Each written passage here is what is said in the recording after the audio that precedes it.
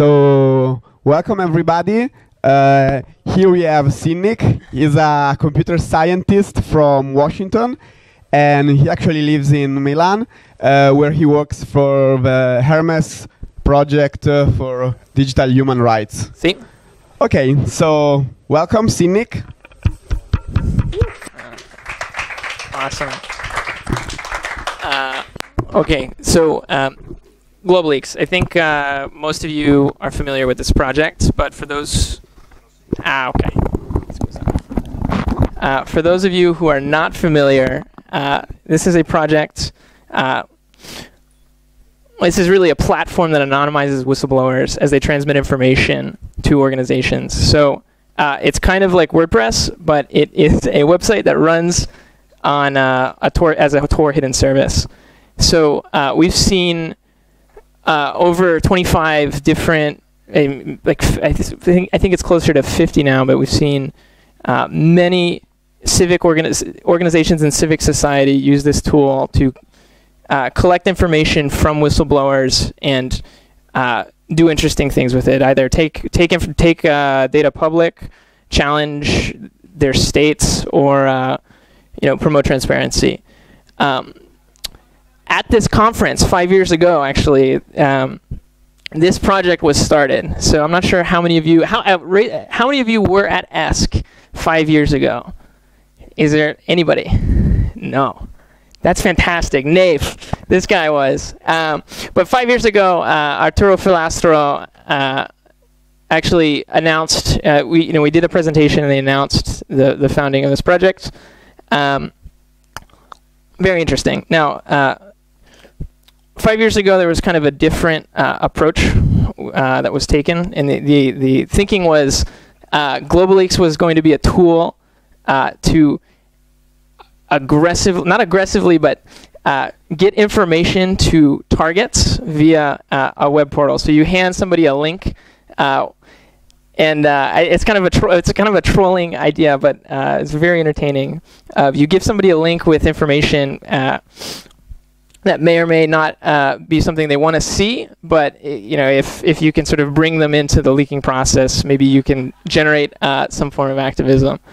Uh, today, uh, we've we've uh, not moved on, but we've changed the freaking dialogue, and uh, we're looking at providing manuals for the people who use the system. So what's happened is, as this project has grown, uh, we've seen, you know, we're trying to support more and more users and more and more different use cases for a, a, a- tool for whistleblowing and a tool for taking information uh, from sources who want to stay anonymous and uh, keeping them anonymous for as long as possible so we can process that data safely.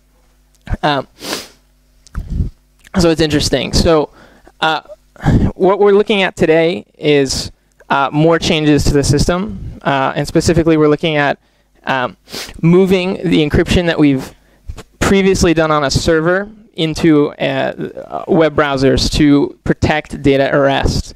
Um, the idea here is that in the current system, uh, organizations that that uh, have non-technical folks, that have journalists, that are you know that are governments, that are corporations, uh, either have stringent requirements for handling data or or installing new applications. So uh, what we're trying to do is provide a complete solution for whistleblowing.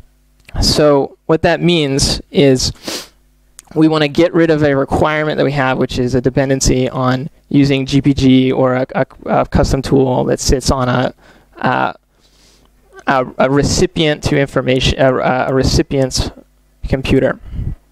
So um, this is a specification we've been working on for the last, uh, I think, I mean, originally it was like 2012. We started talking about this, and we started implementing it in uh, December of 2015.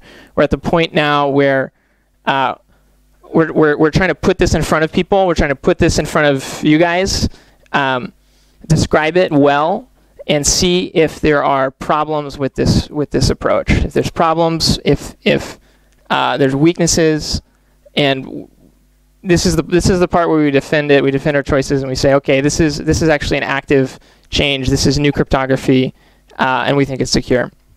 So, uh, with that said, uh, what are we doing?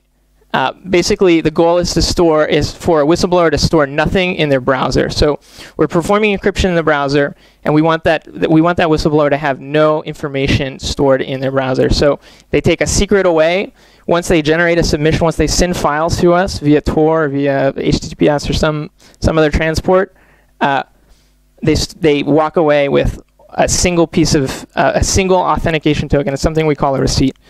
Um, said this already. Um, and additionally, we want uh, the ability for the organizations that are that are taking this information or receiving this information to be able to add new recipients to uh, to submissions that have been created. So if you are uh, you know the, uh, the Authority for National Corruption in Italia.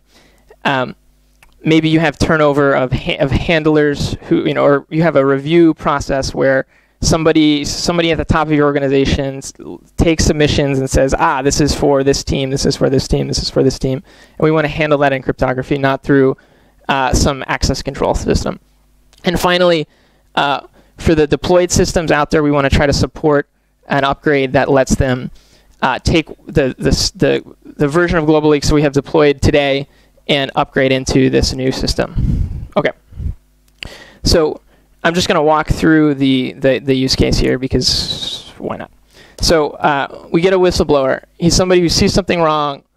He's somebody who cannot uh, or does not want to or has tried the traditional channels within their organization or within their environment and said, uh, I can't go public with this information in this way. I need to remain anonymous. I need to use a tool like GlobaLeaks. Maybe he reads the manual, not a requirement. Um, after after figuring out who to talk to, he he can connect with either a a normal web browser. It, it actually depends on the configuration of the of, of our of the service that's running, but either you can connect with a normal web browser or Tor browser via Tor hidden service. Um, once that once that connection's established, he uploads files, he answers a questionnaire, and he's issued a receipt. Uh, after that has happened, the organization is basically it's like a content management system. GlobaLeaks is a content. I mean, you get a you see a submission, and the whistle and the the organization uh, can follow up, and we find this is very important for groups that actually want high quality and and uh, feed. You know, it's sort of a it's a process. It's not just you know dump a bunch of files and walk away. So. Uh, you know, we we try to support this. Uh, we try to support this use case of, of having uh, having comments and messages and the ability to uh, handle the, the relationship of a, of a whistleblower with that organization. And after, uh, after that submission has been created, after that conversation has occurred, uh, the, the, the, organization decides what they want to do. Um, and they don't, you know, this, this service doesn't provide any ability f- to, to take that information and publish it on the web or publish it on a torrent or put it on IP, IPFS. Uh, it's just internally. It's just an internal system. Uh, once once the whistleblower has come in. So, um, what actually what is actually happening? What is what lives on disk? And I'm sure uh, the, the the names here aren't important. It's just to get the get the concept for a moment, which is um, on the da- on the system on this this GlobaLeaks node, we have files that get stored, which are you know files, uh, comments, which are uh, messages, which everybody in the everybody who's a party to this tip or a party to this submission can read, and messages which are which are intended to be private between a single recipient and a and, and the whistleblower. Okay, and these are the these are the new constructs that we're introducing here. These are the new data structures. Okay, so at a technical level, what actually happens when you connect to GlobaLeaks with a web browser, either the Tor browser or, you know, uh, incognito session of your browser of choice. So uh, after the application loads, uh, we issue a challenge. The server issues the challenge, sends the public keys of the intended recipients and a salt to the user's browser. The user creates responds with a challenge, CA, which has, uh, which is basically it's a combination of a captcha. It's configurable. but It's it's sorry. It's configurable, but it's a combination of a captcha and a uh, a proof of work. So once we determine, once the server determines that uh, the there's a there's there's a human and functioning JavaScript uh, on that in that client in this session, it issues a token, and this token is going to live uh, for the rest of rest of the submission, the rest of the process, uh, and it's and it's going to live as t parameterized on these uh, submissions to the to the server. So this is the initialization. It actually happens uh, anytime a whistleblower connects, and if there are any problems with that that connection, we can just revoke T and walk away. So uh, this this is this is the authentication of the the session itself for the whistleblower. Now. Uh, when that when that whistleblower walks through the the submission process, what's actually happening are two key, two uh, GPG keys are generated. Sorry, PGP keys are generated. I always mix this up. Um, and the, the notation is a little funky here, but this is uh, the private key of the whistleblower and the public key of the whistleblower. And this is the, so it's S for secret, but it's the uh, private key of the, for the session and the public key for the session. So uh, the whistleblower's client generates two two keys. The session key is actually this key right here, which he he generates uh, for the for the intended recipients of this uh, of this submission. So once we've got this key, um, we encrypt using the session key. We encrypt files that he submits using the session key. Okay, the server is going to store these. Uh, and T is gone. There should be a T, whatever. Um, after, okay, so after we, we do these, and, and actually what's interesting is this is happening in a, in a web browser. So this encryption, so this key is generated in the session of the browser. And uh, these, these files are actually encrypted. We upload them in the browser, we encrypt them in memory, and we send them. It's complicated. There's a, there's a protocol to stream this and we can we can sort of do streaming data encryption in the browser. Interesting stuff, kind of complicated. Whatever. Um, okay, we've generated some keys. We can generate a receipt uh, in in the format I'll get into in a little bit, but um, we generate what we what we call a uh, the key the receipt key passphrase, which is RK, which is uh, a hash of this receipt. Uh, and this hash is parameterized with a salt sent from the server, which we which was submitted earlier, and the receipt. So scrypt is a hash function. It's a, a memory hard uh, password key derivation function, actually, uh, and we use it to uh, to basically extend and uh, make it difficult to brute force the key space. Okay, so scrypt is a function that is that you can uh, force uh, a, a, user to compute for some some amount of time. So if you want uh, a 250 millisecond computation, you can force that with the right parameters in scrypt. And so this is what we do, in the sense of if you want to try a receipt key, uh, a re- sorry, a, a receipt key, you have to spend 250 milliseconds computing that in a web browser. Um, you can do it faster, and we're going to go into that. Now, um, once this content has been encrypted, once the files have been encrypted, there's a there's a final step of uploading uh, the the whistleblower's key, the ha- a hash of this receipt key, and the tip the the submission session key SKS. So what the final step of actually creating a submission is uploading encrypt in uploading a, an encrypted package. So we have files and we have the the content that's going to let us re-access uh, this submission. And uh, what's interesting here? So uh, this encryption of access public key lists, the the access public key list, is uh, exists as uh, a session key uh, as exists as a. Oh, this is complicated. I love it though. Uh, so PKR, PKR2, PKR3 are the public keys that correspond to the, the offline private keys of the receiver.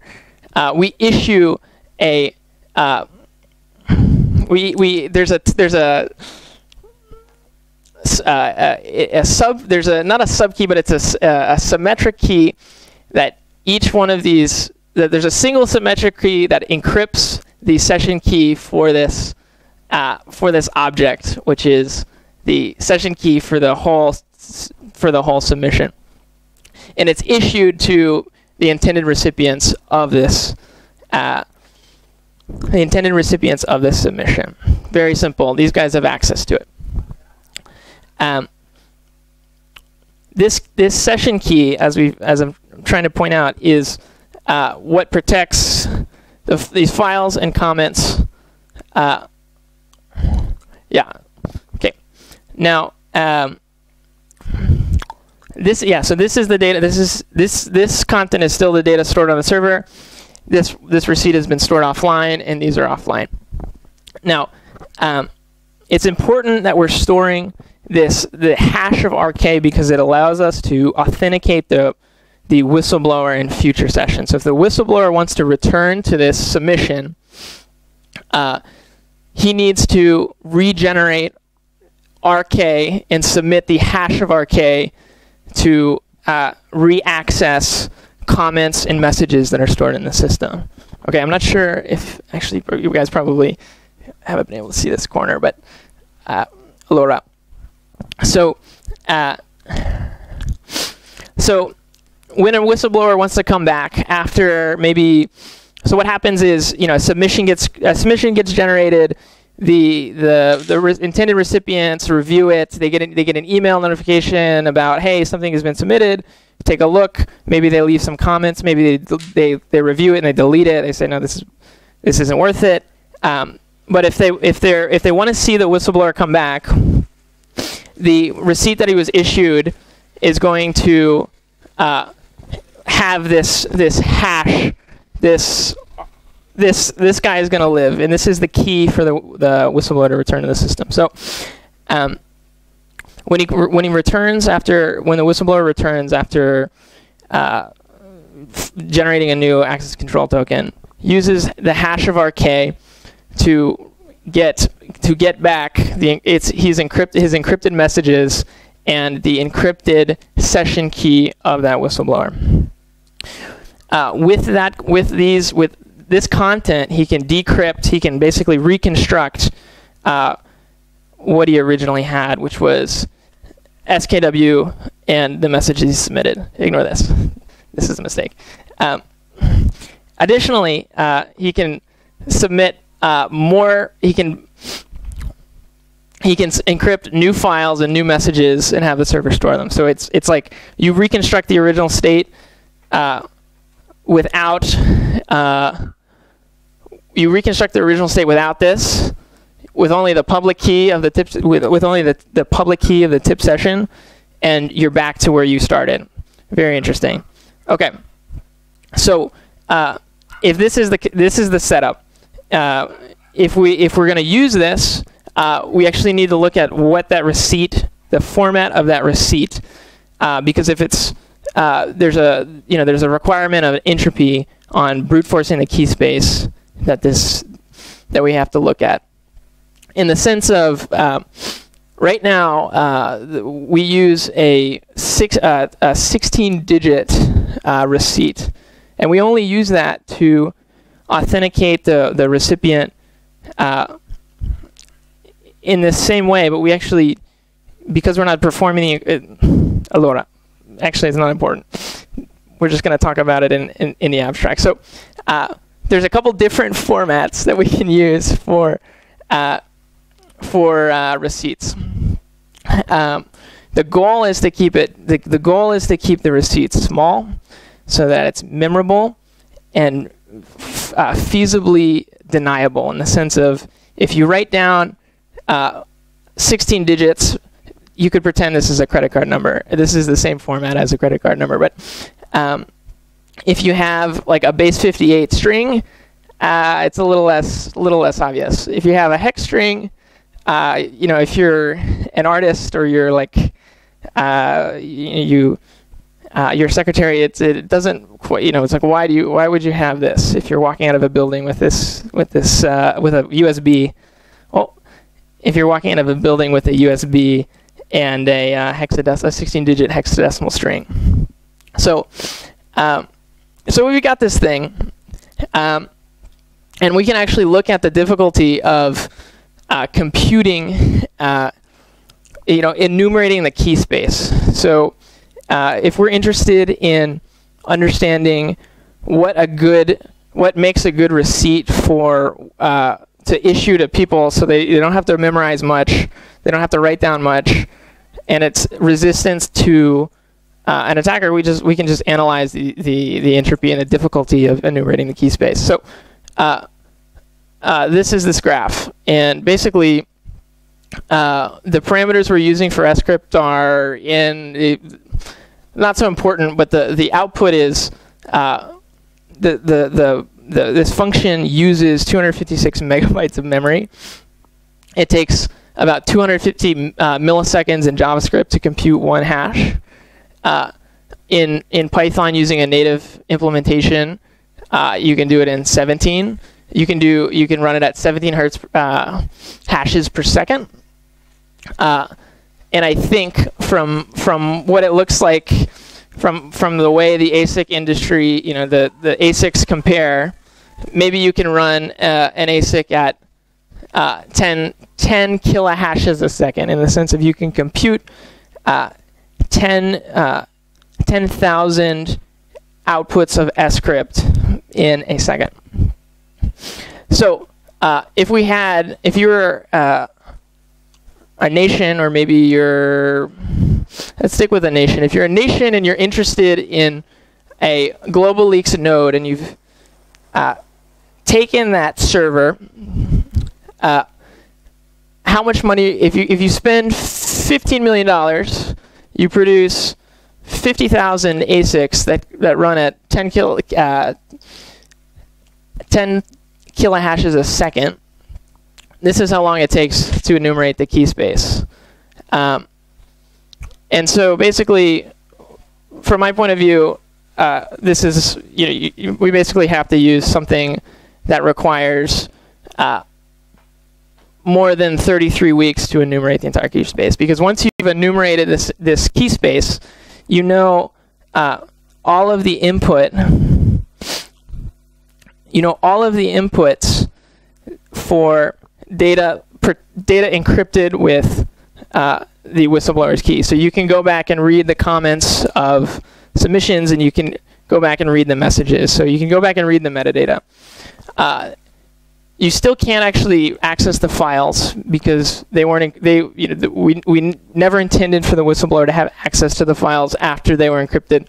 But if you uh, you know seize if you go and grab a, a, receiver, if you go and grab one of these journalists, um, and you get their, you know, you, you take their private key, you can come back through and, and get the files, the comments, and the messages. Okay. This, though, uh, is resolved with a hammer. Uh, you just destroy the hard drive, and this is no longer a problem. Okay. So, basically, this is the new system. Um,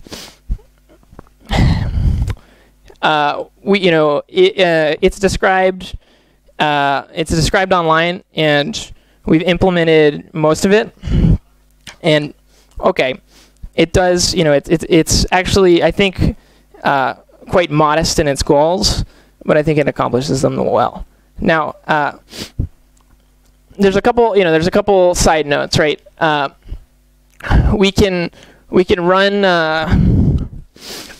we can accomplish this this adding of new users to sessions simply by adding uh, the the user's public key to the tip session key. Once you know once somebody approves the the request, we can run uh, all of the the logic, all of the JavaScript for recipients in a uh, a in an application that, lives on a desktop environment. So it's just a wrapper for JavaScript. It's just um, it's a native WebKit uh, environment. So it's just a V8 driver that lives uh, that runs natively on on your your laptop instead of loading from a website.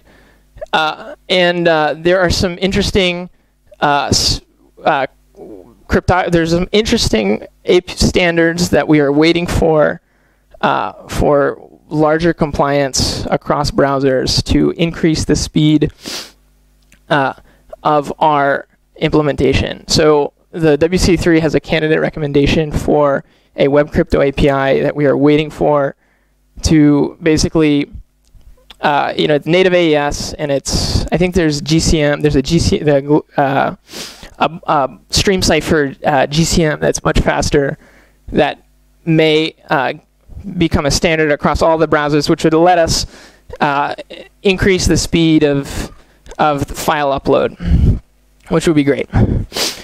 Side notes. Um, this is the system. Uh, if you are interested at all in contributing to GlobaLeaks, if you're interested in learning more about the system, if you're interested in running, uh, if you're interested in uh, working with us, uh, either uh, come to uh, the OFTC uh, IRC network and join the channel GlobaLeaks. Uh, we have email, there's a website, there's a GitHub. This project lives on GitHub right now. And uh, this is my uh, fingerprint, and I am Sinnick on OFTC. I'm not sure how much time I have, but happy to answer any questions. And thank you guys. It's kind of a funky little environment, but uh,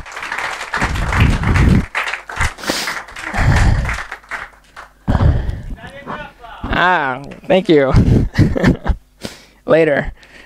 Fantastic. Maybe. uh, I think there's one here. Oh, grand. All right, so I came in late, for which I apologize, and missed most of the actual stuff about JavaScript crypto. But Okay. um, I'm curious, have you had a chance to talk with Nadim Kobeissi about his PhD thesis? No. He is working on um, verifiable JavaScript and a compiler to uh, to do that f- uh, to do to do a lot of the nasty verification work for you. And the paper's not out yet, but um, GlobaLeaks is easy to remember. I can poke you. A, I can send a copy your way That would be uh, when it finally comes out. I'm I'm super excited about it. So. Ah, that's great. Yeah, we um, I, I, for running JavaScript in a browser, there's all sorts of funky stuff. I think it's SNI, which is a not SN, SNI. No, that's that's for um, TLS. But uh, uh, there's also like a hash-based verification um, for uh, you know you, uh, con- you know, external CDN. So you have some content of, of maybe an application, and you store the hash of that application next to the the JavaScript file that you load in your HTML, and like. Uh, I, it, it, it, it seems like ah, maybe you could do this in in GlobaLeaks use case, but you know that first once you hit that server, the the, the index page that you download is going to be uh, totally determined by that server. So you're trusting the server on first use.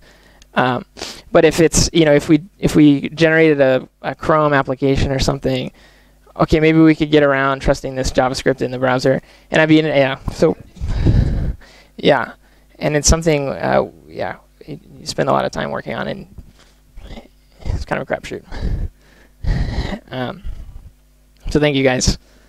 Uh, all throughout, yeah.